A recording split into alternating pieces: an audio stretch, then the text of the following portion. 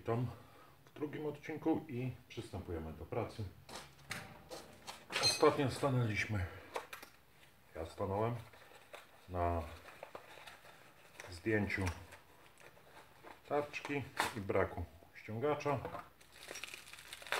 Ponieważ nie miałem odpowiednio małego ściągacza, musiałem zakupić odpowiedni rozmiar. I mam nadzieję, że tym urządzeniem się kłopotu pozbędziemy.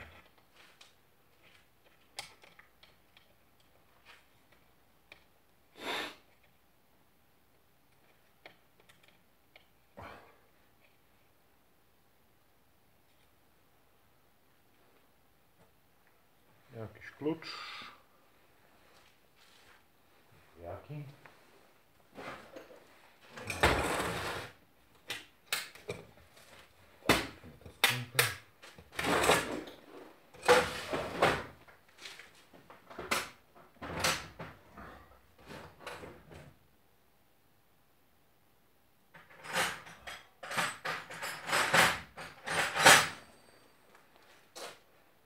12?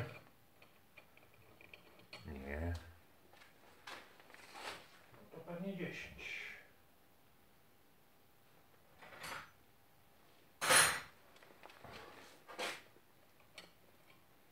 Zgadza się, 10.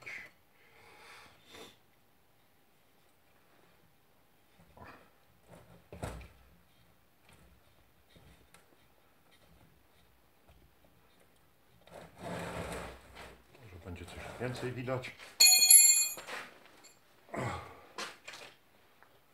A może i madło zasłania, nie wiem. Okej.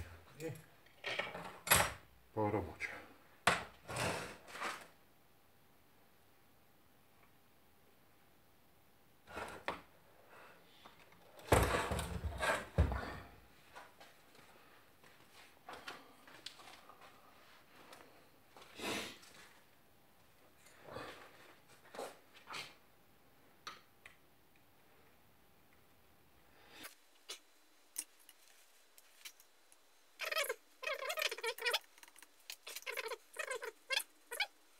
Szczerze mówiąc, nie do końca chce mi się rozmontowywać całe to urządzenie.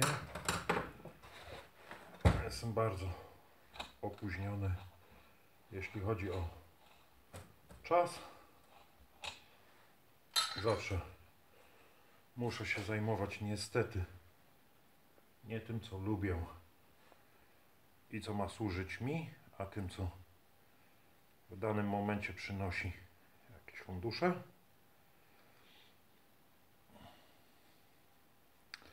Wyczuwalnych luzów żadnych nie ma. No spróbujemy jeszcze coś posłuchać.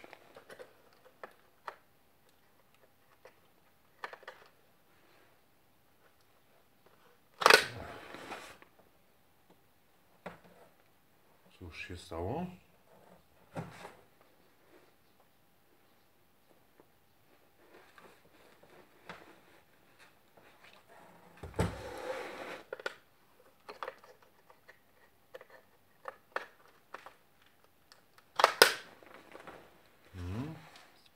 Czy jest prąd w gniazdku.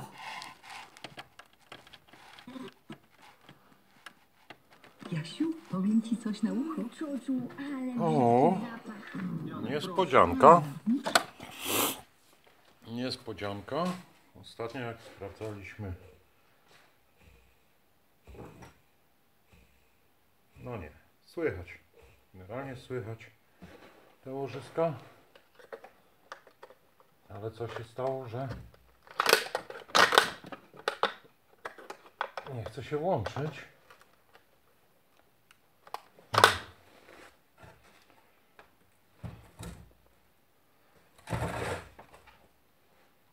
Wszystkie przyłącza ostatnio zrobione. Wyglądają w porządku. W międzyczasie robiłem coś innego na warsztacie i troszkę przewracałem tą szlifierką. Mam nadzieję, że to tylko przewód. stary gdzieś urwany, a nie jakiś poważny problem. Zresztą taki poważny problem nie wziąłby się z niczego, że tak powiem.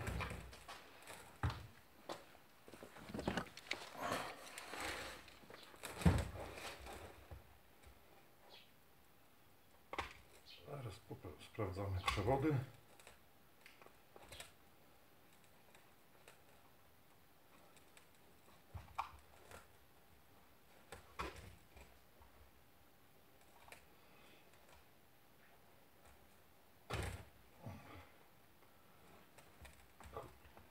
O, coś się złapało.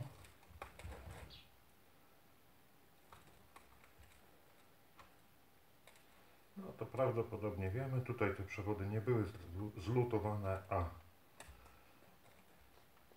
jedynie złożone, skręcone. I to prawdopodobnie będzie przyczyna, że sprawdzimy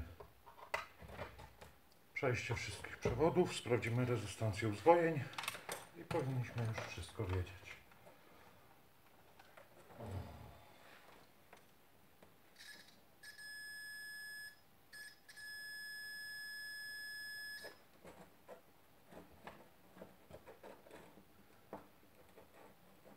Jeden przewód przejście ma, nie ma zwarcia do drugiego.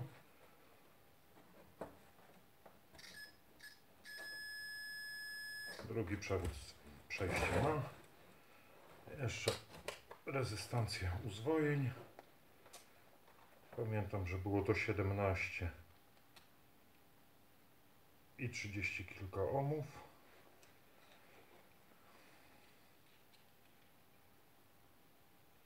Mamy 17. Mamy 37, a więc to, co nas tu zaskoczyło, to był niepołączone przewody. Mm. No to połączmy je. Salutujmy je, żeby mieć pewność. Tylko trzeba będzie rozlutowywać z powrotem, jeśli rozbieramy obudowę, żeby się dostać do łożysk.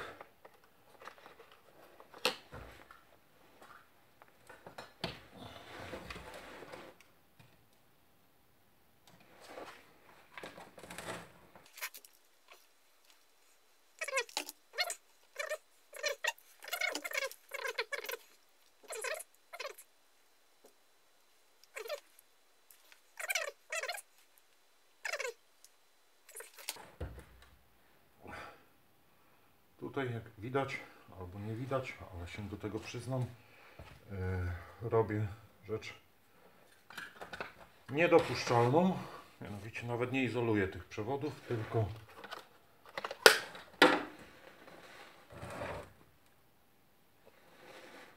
je na chwilkę połączyłem, rozchyliłem, żeby nie zwarły.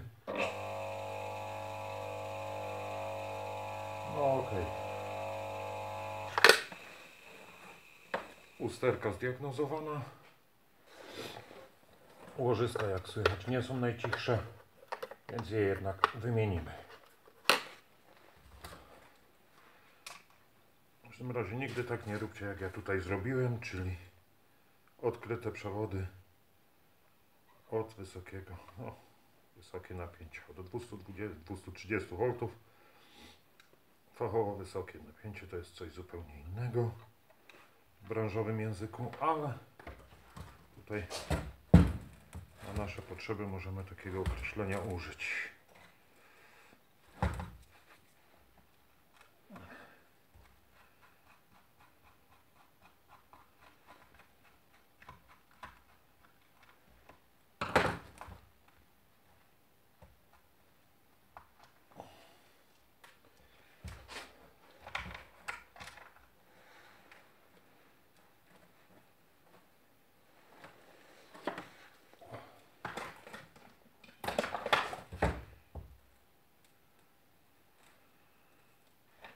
cóż, cóż my tu widzimy?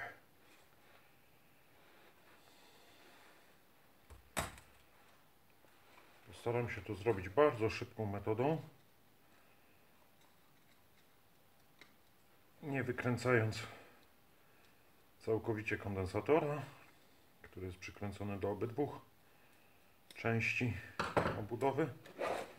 Staram się wykręcić tylko tę śrubę, która trzyma do jednej strony.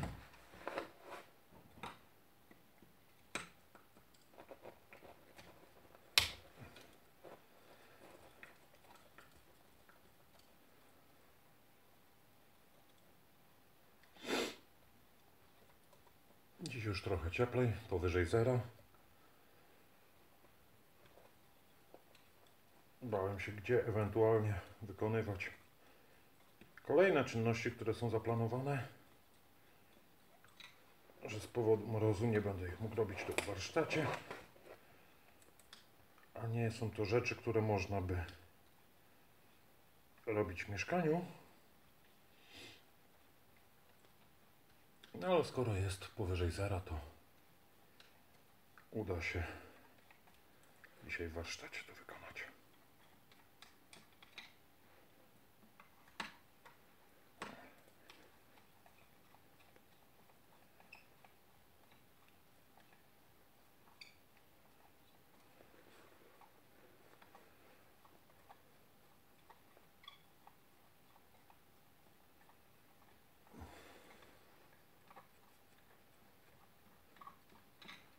Tak. Dwa. Trzecia A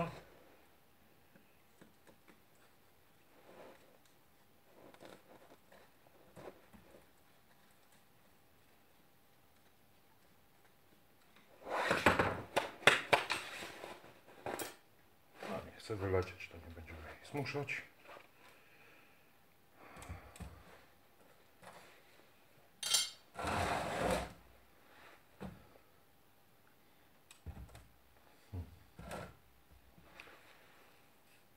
Trzeba by spróbować rozmontować. Wyjąć wirnik z budowy.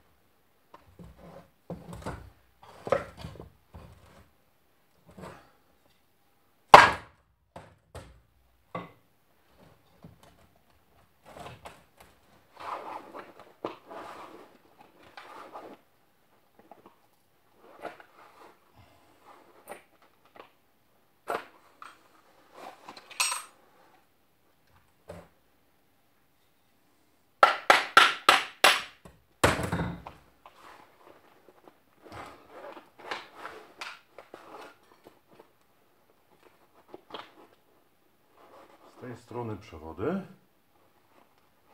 a z tej strony nie wyszło z obudowy.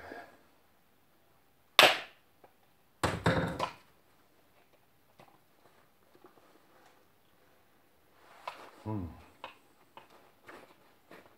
No i żebyśmy sobie tutaj nie narobili kłopotów. Coś ewidentnie trzyma nasz wirnik.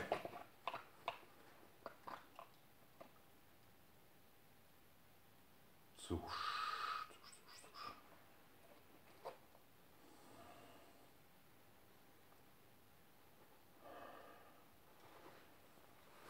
Akurat stojan wyszedł z tej części obudowy, powinien wyjść z tej.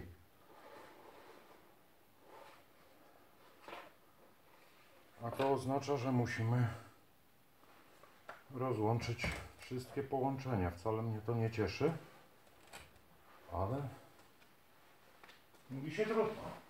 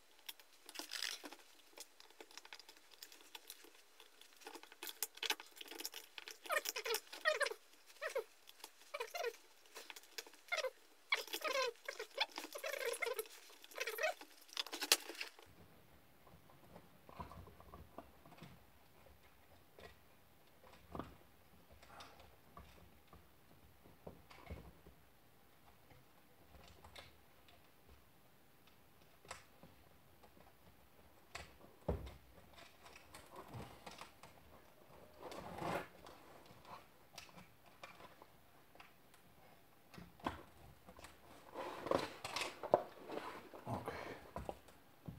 Dobrze. Jednym pogubiemy.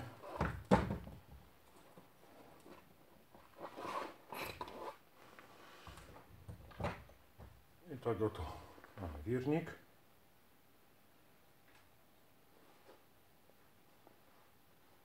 No rzeczywiście stan łożysk wskazuje na potrzebę wymiany.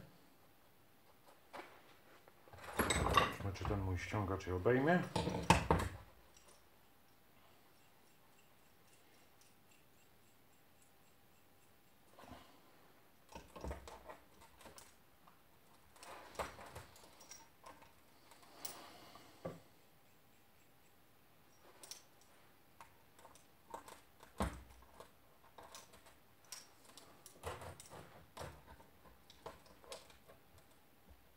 No niestety ten nowo nabyty ściągacz jest za mały, ale nie jest problem.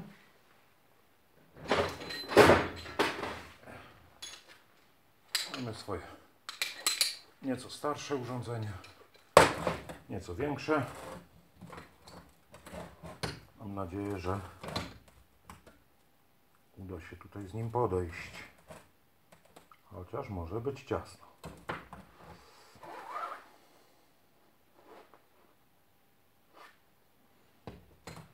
Z kolei może być za duży. Spróbuję sobie unieruchomić marlę.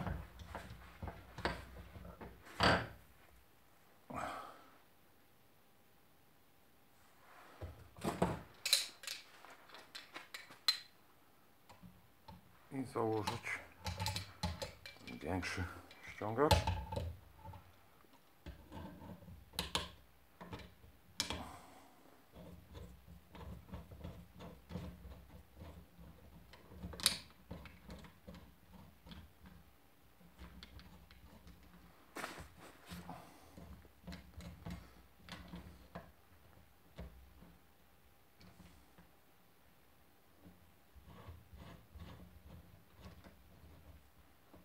Mam nadzieję, choć trochę chwyci.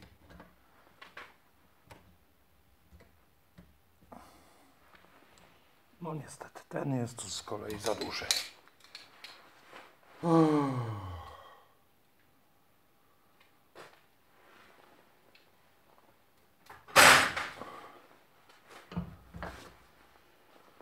Nie pozostaje nic innego jak spróbować łożysko Switch. Jest to rzecz, od której jak mawiam pracownikom moje serce krwawi.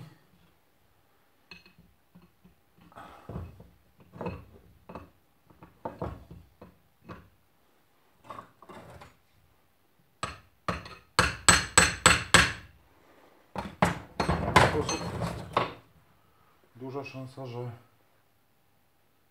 Wygnewałek. Wolałbym uniknąć. Dlatego... Dlatego zrobimy to inaczej.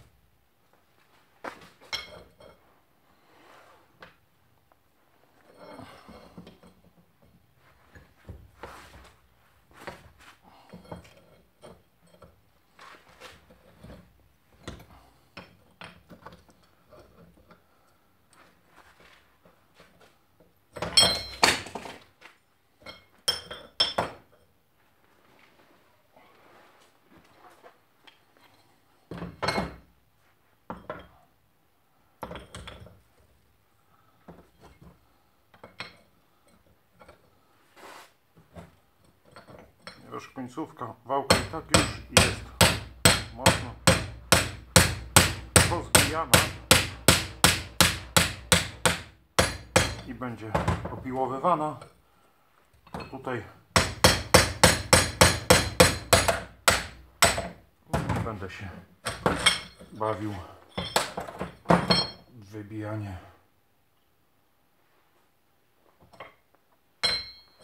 Jakimś miękkim pośrednikiem.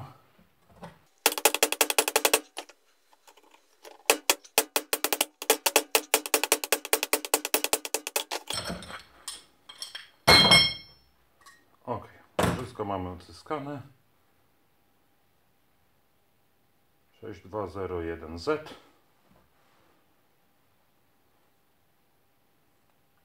Sześć dwa zero jeden Z.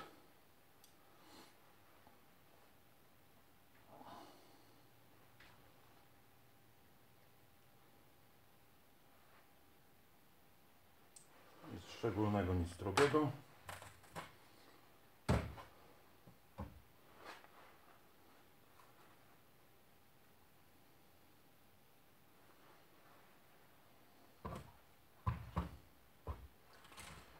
Dobrze. Kolejna rzecz.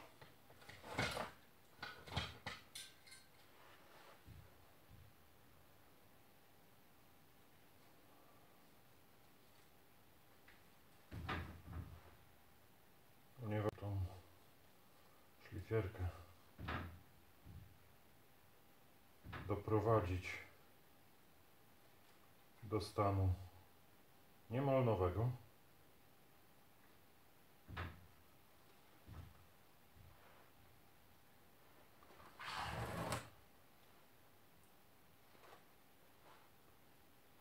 To w planach jest również malowanie żeby ją pomalować, być blisko oryginału, to mam wzornik kolorów RAL.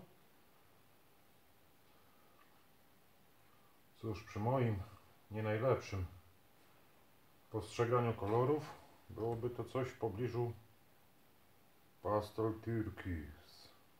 Pastelowy, turkusowy. 60-34.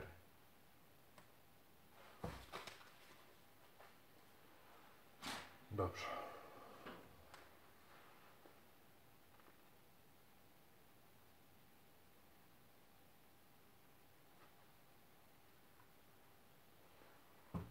Dobrze. Teraz możemy sobie odzyskać jeszcze tę jedną śrubę, która przedtem nie chciała wyjść.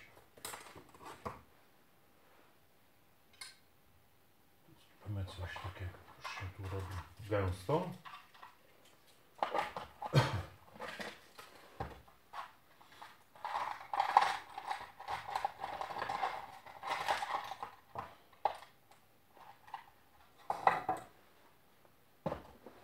Całą drobnicę z tej śruby opakujemy potem z nimi nie szukać.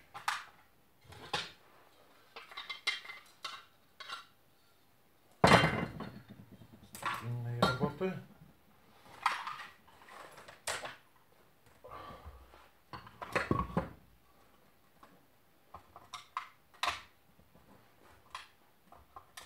Aby być krótka, prosta, przyjemna praca.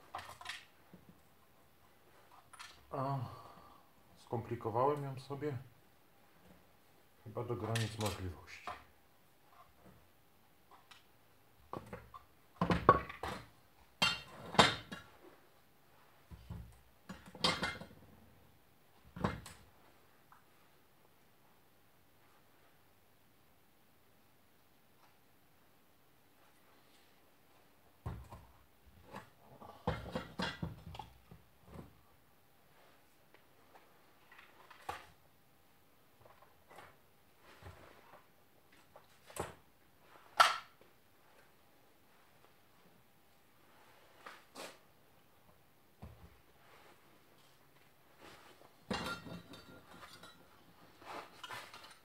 Detale teraz trzeba rozmontować.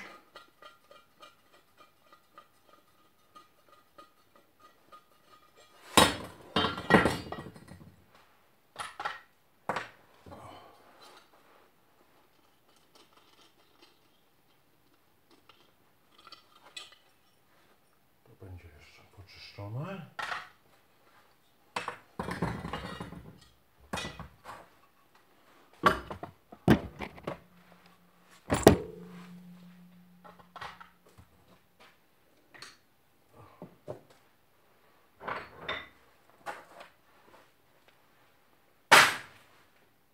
Proponuję chwilkę przerwy.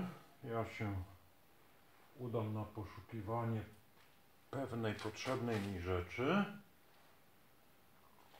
i wrócimy do dalszych prac.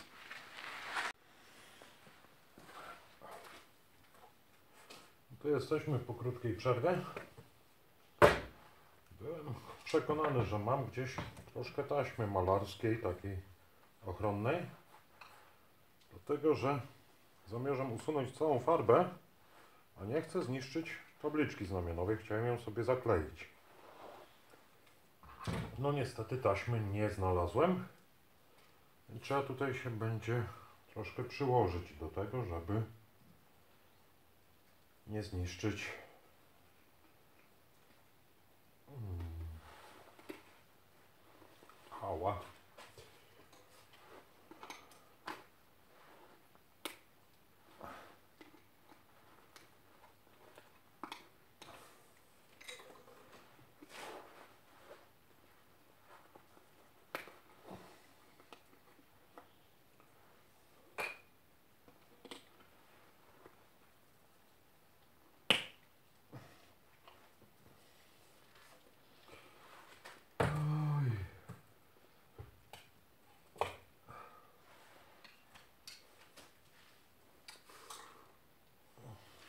Jeszcze. Jeszcze. Może teraz już się uda urwać. Ok. Udało się. To jest to, o czym wcześniej mówiłem, że nie bardzo będzie można zrobić w mieszkaniu. No, ten zapaszek chemiczny nie jest najbardziej wskazany. Środka do zdejmowania farby.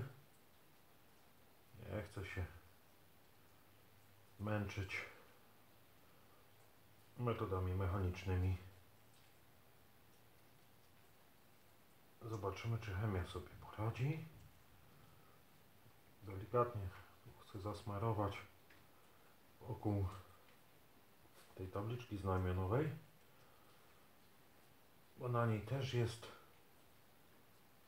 nadruk z jakiejś farby. Nie chciałbym usunąć tych napisów. A nie chcę też odwiercać nitów, bo ta podstawa, ta osłona jest z tworzywa sztucznego i niekoniecznie potem udałoby się to wszystko poskładać z powrotem.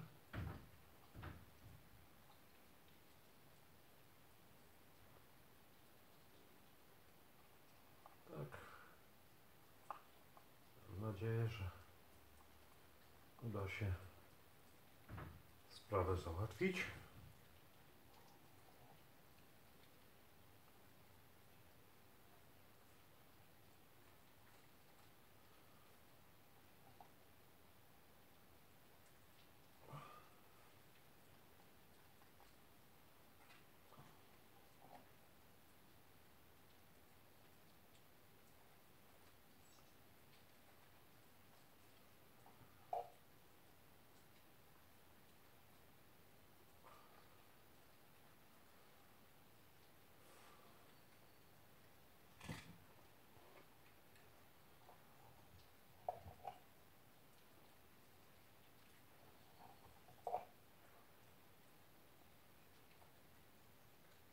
Najprzyjemniej pachnie ten środek.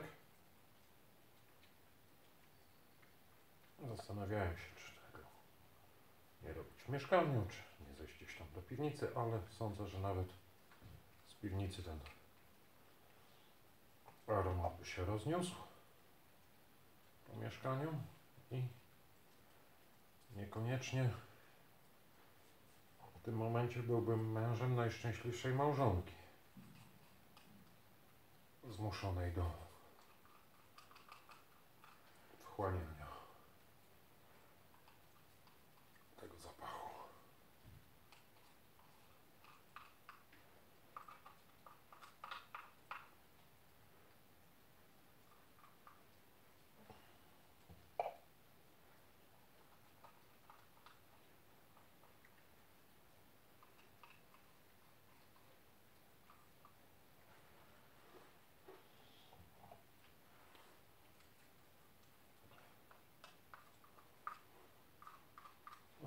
Naszykowałem sobie nawet pędzel, żeby to rozprowadzać, ale taką chałupniczą metodą wychodzi to całkiem nieźle.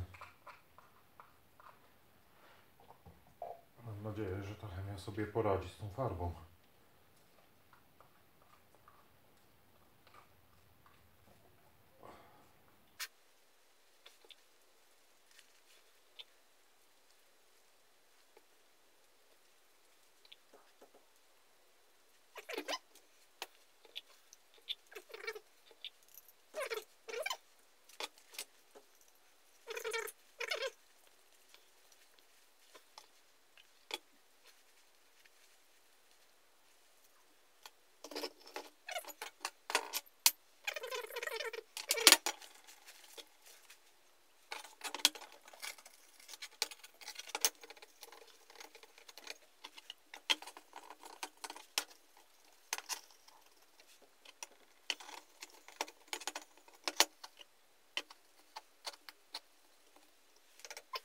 I pozwólmy chemii działać.